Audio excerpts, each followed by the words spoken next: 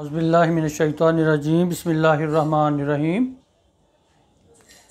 लो भी तू कलम भी तू तेरा वजूद अल किताब, गुंबद आबगिना रंग तेरे मुहित में हबाब।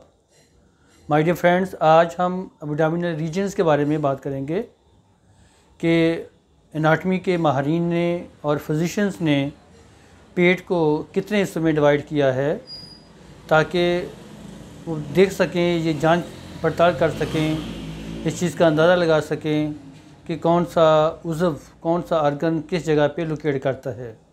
सो, इस तरह से जो एनाटमी के माहरीन हैं, उन्होंने अबडामन को, हमारा जो पेट है, उसको चार क्वाड्रेंट्स में तकसीम किया है। यानी चार हिस्सों में तकसीम किया है। एक लाइन उन्होंने यहाँ से, स्टर्नम से, जिफाइड प्रोसेस से ड्रा की है। ये सीधी वर्टिकल लाइन जो है, वो हमारी मिड लाइन बनती है। ये प्यूबिक बोन तक जाती है।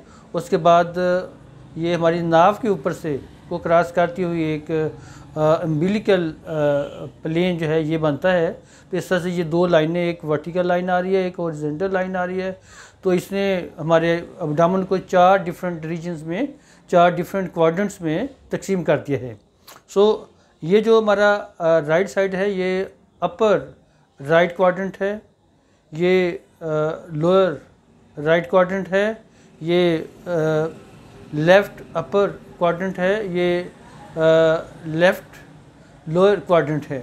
इस तरह से हमें आ, ये क्वाड्रेंट्स जो बन जाते हैं ये जो रीजन्स होती हैं इनका हमें इस चीज़ से यानी इसका हमें फ़ायदा ये होता है हमें पता होता है कि कौन से क्वाड्रेंट्स में कौन सा आर्गन मौजूद है।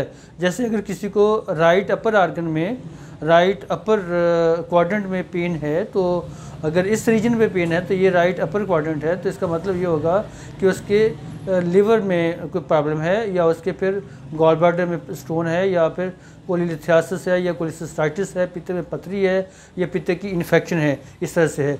तो सिमिलरली अगर हम राइट लोअर क्वाड्रेंट में आते हैं तो ये इसमें हमारा इलिक फोसा आता है तो राइट इलिक फोसा पे हमारी जो सबसे अहम तरीन जो कम्युनिकेशन पैदा होती है वो अपेंडिसाइटिस के दर्द का हमें पता चलता है।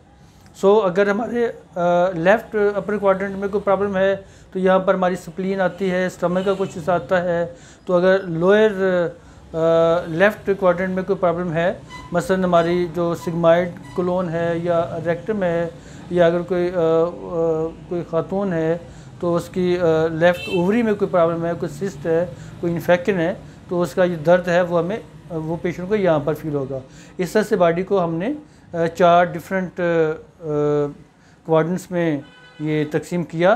और ये देखा कि कौन कौन से क्वाड्रेंट्स में कौन कौन से आर्गन मौजूद हैं। अगली वीडियो में इन हम ये देखेंगे कि कौन कौन सी पैथोलॉजीज़ किस किस क्वार में पाई जाती हैं। बहुत शुक्रिया। अल्लाह हाफिज़।